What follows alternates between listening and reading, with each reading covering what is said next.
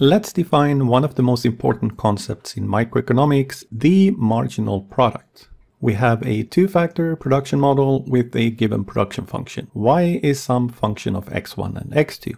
We then define the marginal product of the first factor, denoted by MP1 as the partial derivative of f with respect to x1.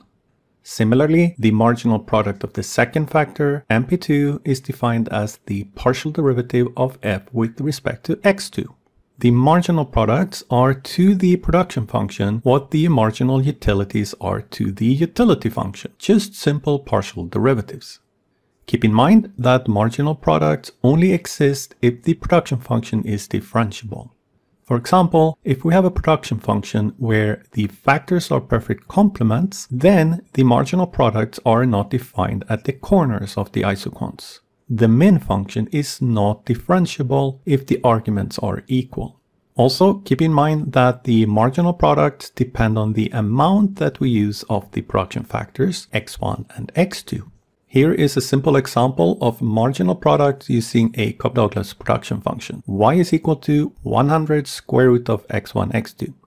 To find MP1, we do the partial derivative of f with respect to x1. The derivative of square root of x1 is 1 divided by 2 times the square root of x1. 100 divided by 2 is 50, so MP1 is 50 times the square root of x2 over x1, which is defined for all values of x1 and x2 as long as x1 is strictly positive.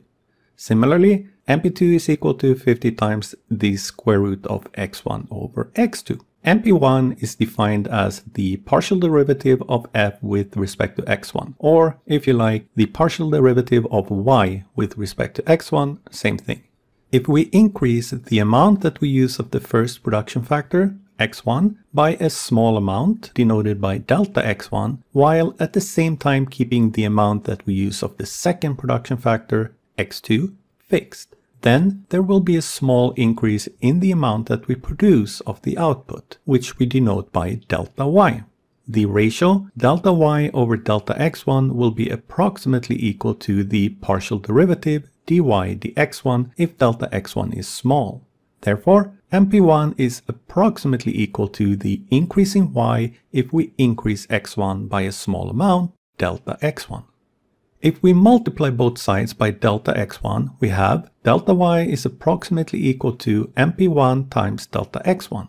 You can think of MP1 as an amplifier for the first production factor. If MP1 is 5, for example, and you increase x1, then y will increase by 5 times as much, as long as this increase is small.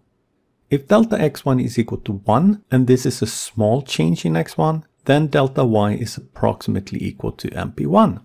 Therefore, we tend to think of MP1 as a number telling us how much production will increase if we increase the amount of the first production factor by one unit. Everything we have said on this slide can be reformulated in terms of MP2 and changes in X2 keeping X1 fixed. So we think of MP2 as the increase in production when we increase X2 by one unit keeping X1 fixed. The law of diminishing marginal product states that the marginal product of factor 1, MP1, is eventually a decreasing function in x1 if we keep x2 fixed, and that MP2 is eventually decreasing in x2 for x1 fixed. Let's think about what this means. Say that we have a medical facility producing health services. We produce health services using capital, such as x-rays, needles, and antibiotics, and labor provided by doctors, nurses, and other support staff. We group all these factors into two, capital and labor. Let's think about the amount of health services that we can produce if we keep capital fixed and vary the amount of labor. Imagine that we begin with a reasonable amount of labor appropriate for the facility. Increasing the amount of labor by a small amount in this situation will typically not cause too many problems. As we keep on increasing the amount of labor, the facility will eventually be very crowded, making it more difficult for staff to get access to equipment. An increase in labor when the amount of labor is already very high will not increase the number of patients treated as much as an increase in labor when the amount of labor is at a more appropriate level for the facility and the marginal product of labor is lower. As you keep on increasing the amount of labor, it is possible or even likely that marginal product will eventually become zero or even negative. You will then produce less health services by increasing the amount of labor beyond this overcrowded amount. Keep in mind that the law of diminishing marginal product does not claim that the marginal product of a production factor is always decreasing in the amount used of this factor. It is possible that MP1, say, is initially increasing in X1. In our example, this would likely be the case. With a very small amount of labor, increasing the amount of labor would have a very small effect. You need a certain amount of labor to make the facility working properly.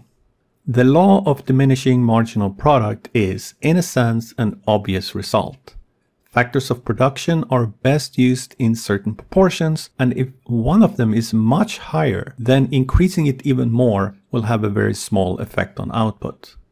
It's hard to think of even one example where the law of diminishing marginal product would fail. A few mathematical examples. In my first example, y is 100 square root of x1 times x2. The marginal product of the first factor, MP1, is equal to 50 square root of x2 over x1, which is a decreasing function in x1. You can also convince yourself that MP2 is a decreasing function in x2. Therefore, this production function satisfies the law of diminishing marginal product. In my second example, y is equal to x1 squared, x2 squared. MP1 is 2 times x1 times x2 squared, and this is increasing in x1 for all values of x1. This production function does not satisfy the law of diminishing marginal product.